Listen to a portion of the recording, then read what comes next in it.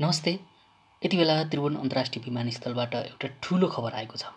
भन्सार कटेर सिना मङ्गल पुगेको झन्डै एक क्विन्टल सुन त्रिभुवन अन्तर्राष्ट्रिय विमानस्थलबाट बरामद भएको छ। त्रिभुवन अन्तर्राष्ट्रिय विमानस्थल भन्सार कार्यालयको जाँच पार गरेर झन्डै एक क्विन्टल सुन बाहिरिएको भन्सार कार्यालय स्रोतले जानकारी गराएको छ। स्रोतका अनुसार राजस्व अनुसन्धान विभागले बुधबार विशेष सूचनाको आधारमा चलाएको अपरेसनका क्रममा सिना मङ्गलबाट झन्डै असीदेखि एक सय किलो सुन बरामद भएको विभागका महानिर्देशक नवराज ढुङ्गानाले जानकारी गराएका छन्। उनका अनुसार यो नेपालमा बरामद भएको सबैभन्दा ठुलो परिणामको भएको हुन सक्ने उनले अनुमान गरेका छन्। त्रिभुवन अन्तर्राष्ट्रिय विमानस्थल सुरक्षा कार्यालय स्रोतले बरामद सुन मङ्गलबारको क्याथे पेसिफिकको उडान मार्फत काठमाडौँ आएको जनाएको छ। मोटरसाइकल र स्कुटरको ब्रेक सुभित्र लुकाएर ल्याएको सुन। बुधबार भन्सार जाँच पाँच गरेर अपराह्न दुई बजे कटेको थियो। यो सूचना राजस्व अनुसन्धान विभागसम्म पुगेपछि विभागले आफ्नो कारवाही अगाडि बढाएको थियो। त्यसपछि विभागले गरेको कारवाहीमा ठुलो परिणाममा सुन बरामद भएको जनाइएको छ। महानिर्देशक ढुङ्गानाले भन्छन् अझैसम्म बरामद भएको सबै सुनको तौल लिइसकिएको छैन। हङकङबाट आएको सुन भारततर्फ तस्करी गरेर लैजान लागि आशंका सुरक्षा स्रोतले गरेको छ। दुई हजार चौहत्तर सालमा चुरामणी उप्रेती गोरे नेतृत्वको समूहले युएईबाट नौ माघ दुई हजार चौहत्तरमा ल्याएको तेत्तिस किलो सुन हराएको थियो। खोजीका क्रममा भरिया सनम साक्य मारिएपछि सुरु भएको अनुसन्धानपछि गम्भीर मोड लिएको थियो।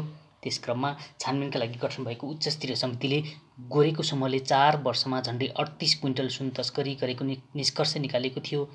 यो प्रकरणमा प्रहरी अधिकारीहरू भन्सार कर्मचारीदेखि तस्करीमा समूह ठुलो ऱ्याकेट मुछिएको थियो। त्यस यता नेपालमा ठुलो परिणाममा सुन बरामद भएको थिएन। पछिल्लो पाँच वर्ष यता सुन बरामदको दर हत्ते घटेका बेला राजस्व अनुसन्धान विभागले चलाएको अपरेसनका क्रममा झन्डै एक सय किलो सुन बरामद भएको छ।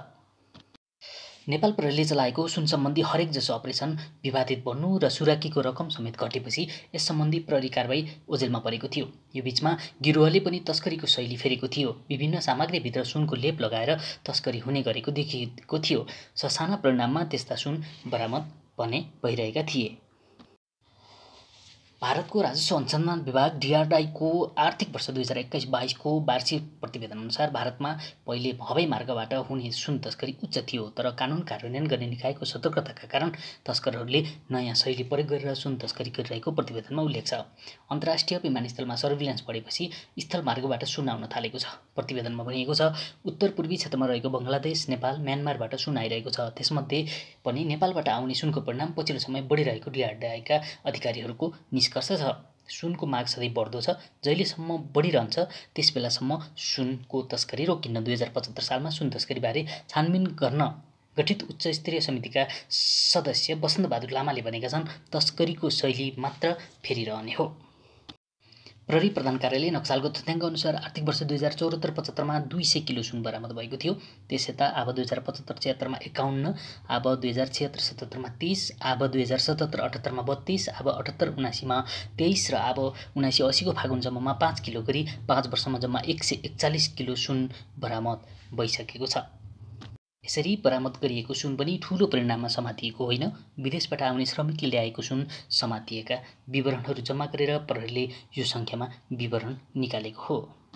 आज समातिएको सुनको परिणामबारे सम्भवतः भोलिसम्म विस्तृत जानकारी आउने बताइएको छ। प्रहरीले केही व्यक्तिहरूलाई समातेको पनि जानकारी गराएको छ। उनीहरू को हुन् र कुन प्रयोजनमा यो सुन लिएको थियो भन्ने बारे पनि थप अनुसन्धान हुँदै गइरहेको प्रहरीले जनाएको छ।